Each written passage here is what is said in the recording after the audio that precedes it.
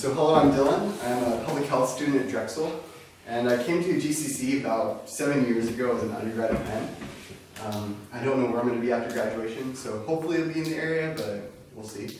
Um, but yeah, um, in my journey to public health, Jesus' command to love God and others has been a major motivator. Like many incoming Penn students, I had the um, set in my mind of how I would change the world with grandiose expressions of that love by becoming a doctor or a researcher or you get it.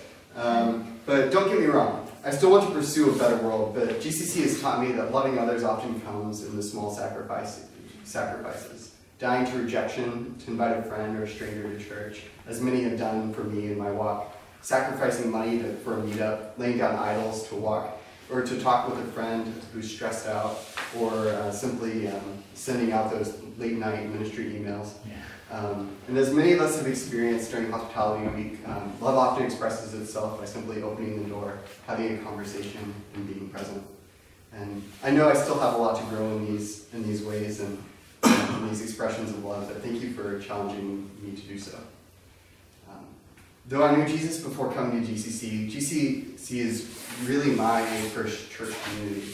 In middle and high school, I would bounce between churches depending on who would invite me or drive me, and um, and I was always like an outsider looking in, and um, I would see that often these churches had high expectations for their pastors, or come to service um, but live out, but live their lives outside the churches with little concern for God.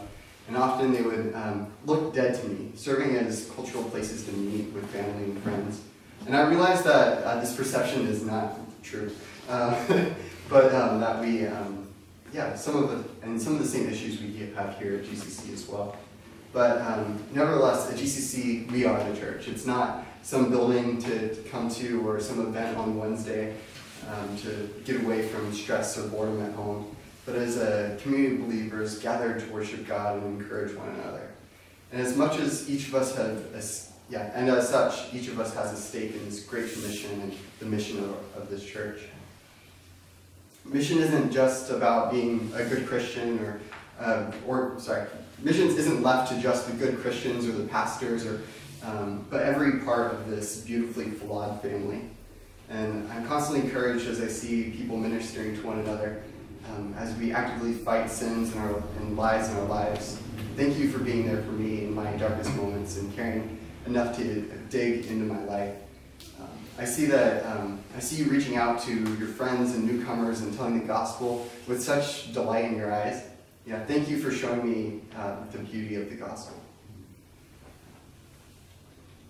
Some of you serve um, in the shadows, stepping up with a camera or a crock pot or car keys. Thank you for showing the love of God being roommates with some of you or having the tight quarters on missions or retreats, I've witnessed your private worship, prayer, and Bible study that enables you to press on.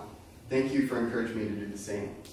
I have loved uh, sharing your dreams to evangelize to our campuses and work, um, sorry, and our world, and to opening opportunities for those at Jane Addams or Logan Hope. Thank you for inspiring us to hope, to faithfully anticipate, and to rejoice in the work of God. And sorry to keep uh, these experiences in generalities, but I mean, I've been here for seven years, so I don't, don't know how to really sum it up otherwise. Um, but, um, but yeah, every moment God has shown his faithfulness. Um, he has held on to me as I transitioned into college by bringing me to Full Measure of Penn's Christian Acapella Group. Um, the president there um, brought me to GCC, and um, I've stuck around ever since. And I uh, think God used uh, my first two years as a, a great season of growth for me. Uh, my freshman year, I was baptized here. Um, but junior and senior years were as a struggle as I had to learn to trust God and um, to be able to, uh, as He led me to uh, attempt to serve in different capacities um, and to balance school and, and whatnot. And also thought with my identity as academics challenged my faith.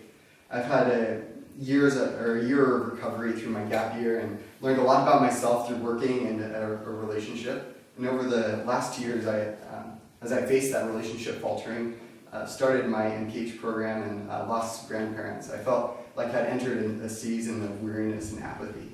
And even so, God has uh, used this church to draw me close and remind me that He's with me. Um, for instance, God challenged me to uh, sing, You came, knew that you would come. Um, after, uh, after those losses, or uh, in the, that that struggle of, yeah, that in that prayer struggle, and how it, um, yeah, and the timeliness of the ser- the soul care series um, this wouldn't have come at a better time. Further, many of you have prayed for me and encouraged me in this season, prophesying over me and revealing my heart. Others have encouraged me to get my stuff into gear, or um, simply a friend to grab bubble tea or to watch Planet Earth. Um, and while at GCC, I've been, uh, I've seen God's faithfulness and presence, so I will trust in Him as I enter this next season.